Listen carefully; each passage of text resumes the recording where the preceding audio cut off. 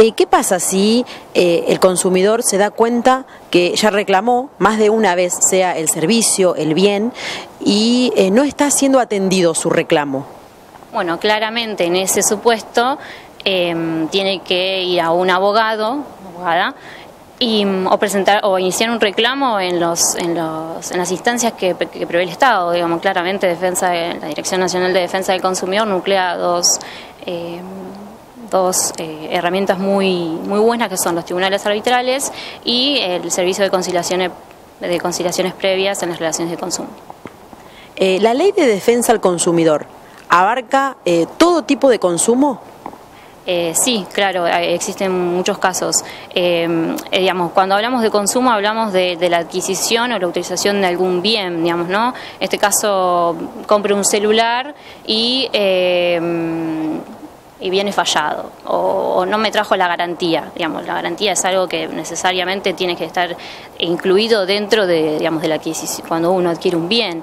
Eh, ahora, sí, todo lo que es relación de consumo eh, es, existe en la vida cotidiana todos los días, eh, desde tomarse un micro eh, hasta comprarse un vuelo, digamos, un pasaje, desde es, es infinita la gama. Eh, entonces podemos decir que eh, la ley de defensa al consumidor respalda eh, más al consumidor y eso es a veces lo que no se sabe o si la gente está consciente de esa ley que los ampara. Eh, es buena la pregunta. La ley de defensa del consumidor de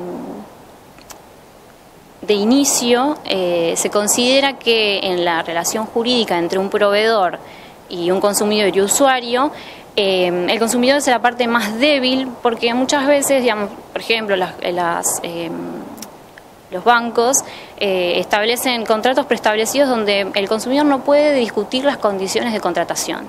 Entonces, claramente la, la, la ley de defensa del consumidor viene a establecer cuáles son las bases necesarias eh, e indispensables para tratar de nivelar esa situación de desequilibrio que existe de inicio eh, desde el momento en que eh, se genera esa, esa contratación o esa vinculación entre, estos dos, entre estas dos partes.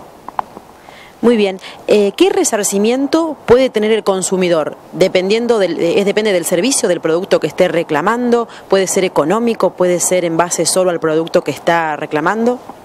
Eh, la compensación, digamos, del resarcimiento que va a tener, eh, tener el, el, consumidor usuario va a depender del caso en concreto y varía de acuerdo al caso. No, no podría decirte, generalmente, viste, tienden a, que el, la persona que ha, que ha sido dañada en, en, en, su, en sus derechos de, de consumo eh, quede satisfecha, pero no necesariamente a veces es económico, a veces es el mismo reemplazo o inclusive hasta la reparación técnica, es dependiendo.